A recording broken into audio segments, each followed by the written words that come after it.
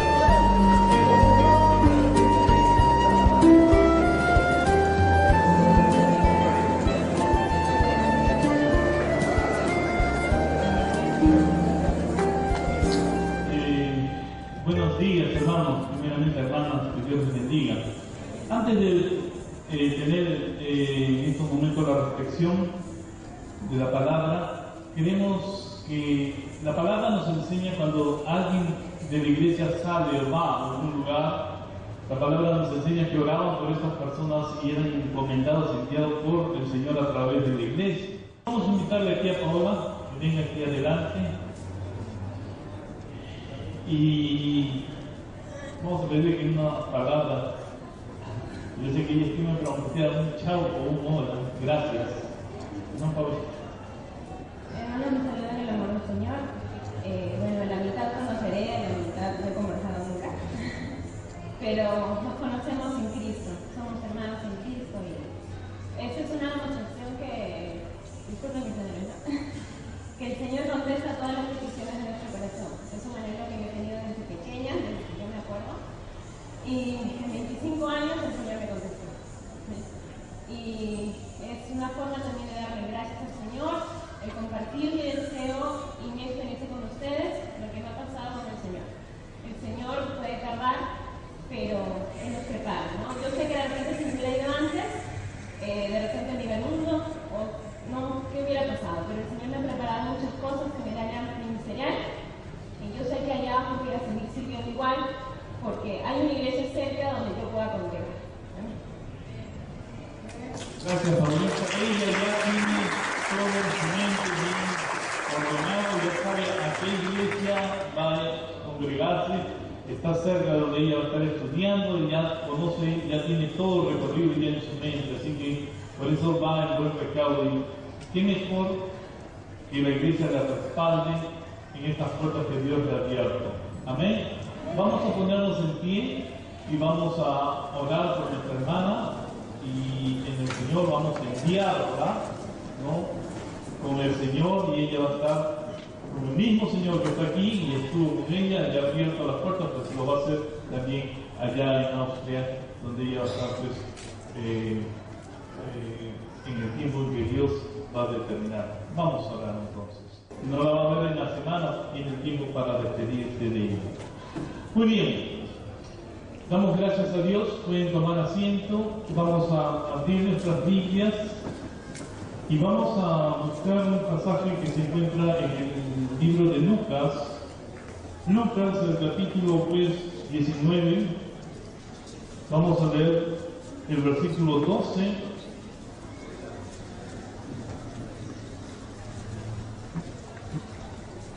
Dice Lucas el capítulo 19, versículo 12. Dijo pues, hablando el Señor Jesucristo, un hombre noble se fue a un país lejano para recibir un reino y volver. Y llamando a diez siervos suyos, les dio diez minas y les dijo, negociad entre tanto que vengo. Pero sus conciudadanos le aborrecían y enviaron papel una embajada diciendo, no queremos que este reine sobre nosotros. Aconteció que vuelto él después de recibir el reino mandó llamar ante él aquellos siervos a los cuales había dado el dinero para saber lo que había negociado cada uno. Vino el primero diciendo, Señor, tu mina ha ganado diez minas. Él le dijo, está bien, buen siervo, por cuanto en lo poco has sido fiel, tendrás autoridad sobre diez ciudades. Vino otro diciendo, Señor, tu mina ha producido cinco minas. Y también a este dijo, tú también sé sobre cinco ciudades. Vino otro diciendo, Señor, aquí está tu mina, la cual he tenido guardada en un pañuelo, porque tuve miedo de ti, por cuanto eres hombre severo, que tomas lo que no pusiste y sigas lo que no sembraste. Entonces él le dijo, más siervo, por tu propia boca te juzgo. Sabías que yo era hombre severo, que tomo lo que no puse y que ciego lo que no sembré. ¿Por qué pues no pusiste mi dinero en el banco para que al volver yo lo hubiera recibido con los intereses? Y dijo a los que estaban presentes, quitadle la mina y dadla al que tiene las diez minas. Ellos dijeron, Señor, tiene diez minas. Pues yo os digo que a todo el que tiene se le dará, mas al que no tiene, aún lo que tiene, se le quitará. Hasta aquí la lectura. Vamos a orar un momento. Padre, en el nombre de Jesús, te agradezco. no es hacerse dueño, sino es administrar, administrar bien lo que era en este caso la naturaleza a la cual el hombre eh, había sido creado para administrar. La administración de los bienes es un concepto desde el inicio de la creación, no es algo nuevo. Es y hemos sido nosotros creados en nuestra naturaleza para ser mayordomos, para administrar bienes, para administrarlos desde el concepto bíblico, el concepto de Dios y administrar no solamente nuestros bienes, sino administrar nuestra vida, nuestro ser. Vemos más adelante en el versículo 15 eh, del capítulo 2, capítulo 2 de Génesis, versículo 15, que dice, tomó pues Jehová Dios al hombre y lo puso en el huerto de Edén para que lo labrara y que dice, lo guardase.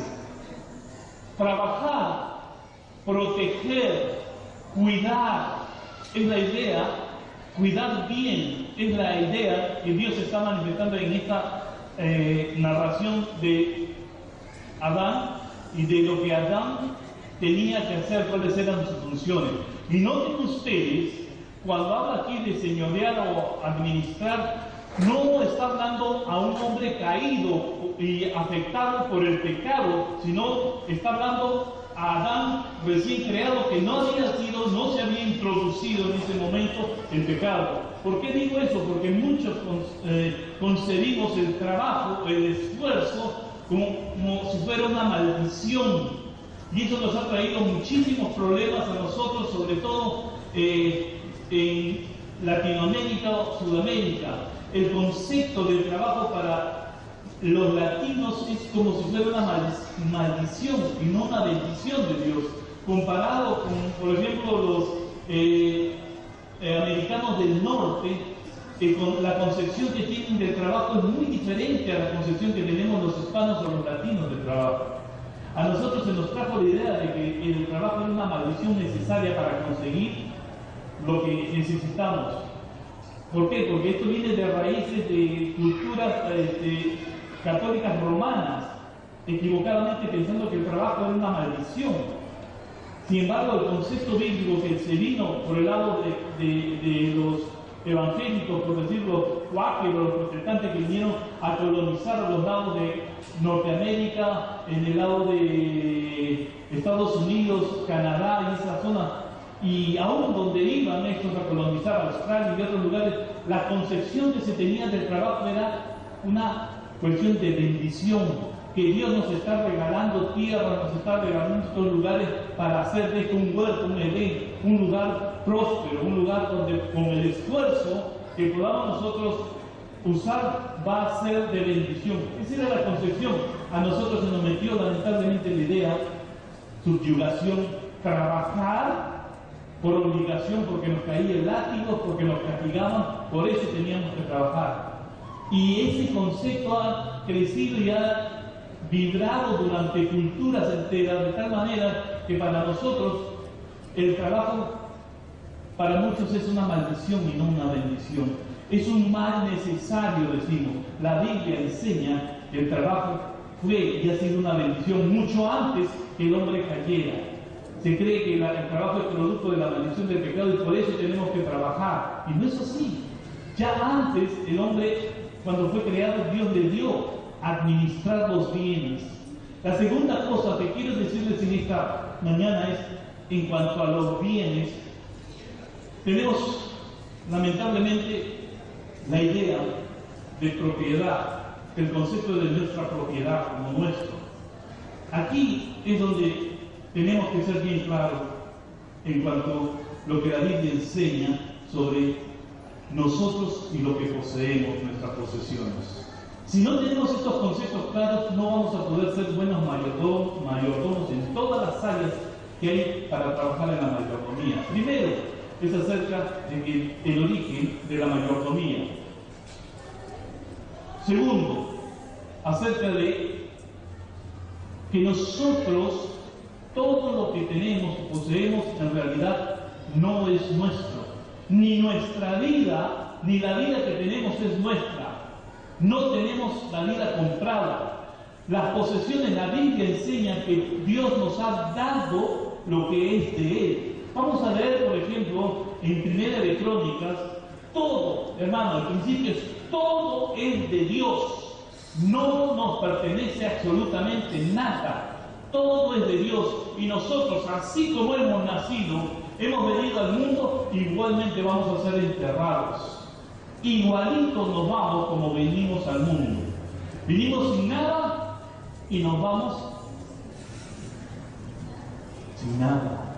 Y por más que las culturas milenarias se trataba, se esforzó y se eh, dio el pensamiento de que tenemos que nos vamos de este mundo, pero nos vamos con algo en la muerte para equiparnos, vamos a caminar y pasar por el valle de la muerte, entonces hay que ponerle, por eso es que encontramos en las momias, en estos eh, hallazgos de reyes egipcios, encontramos sus tumbas, pero encontramos sus tumbas llenas de oro, de alimentos, de cosas, de posesiones, porque el concepto era, se creía erradamente de que cuando morían se iban, pero tenían que, podían llevarse ciertas cosas en el pasaje al otro mundo, el valle de la muerte.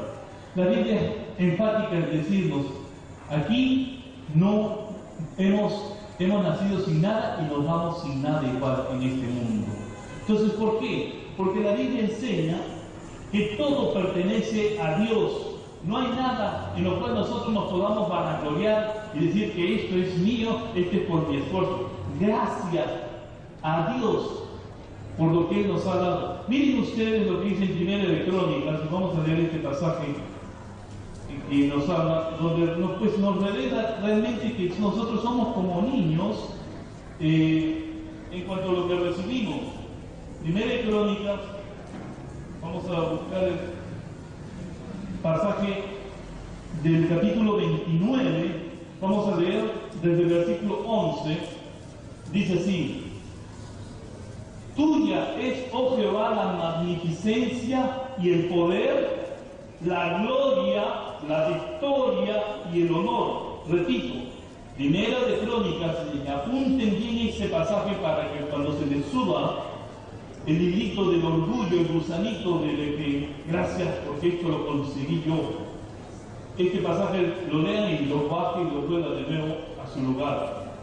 Dice, Primera de Crónicas, capítulo 29, versículo 11. Tuya es, oh Jehová, la magnificencia y el poder, la gloria, la victoria y el honor, porque todas las cosas que están en los cielos y en la tierra son tuyas. ¿De quién es? De Dios. Tuyo, Jehová, es el reino y tú eres exceso sobre todos. O sea, quiere decir que Él sigue siendo y señorea sobre todas nuestras posesiones y sobre todos nosotros. Las riquezas y las glorias y todo es tuyo. Y vamos a pedir que una palabra. Yo sé que tiene que pronunciar un chao o un hola. Gracias. No, Pablo. Hermanos, me saludan el amor del Señor. Eh, bueno, la mitad conoceré, la mitad no he conversado nunca. Pero nos conocemos en Cristo, somos hermanos en Cristo.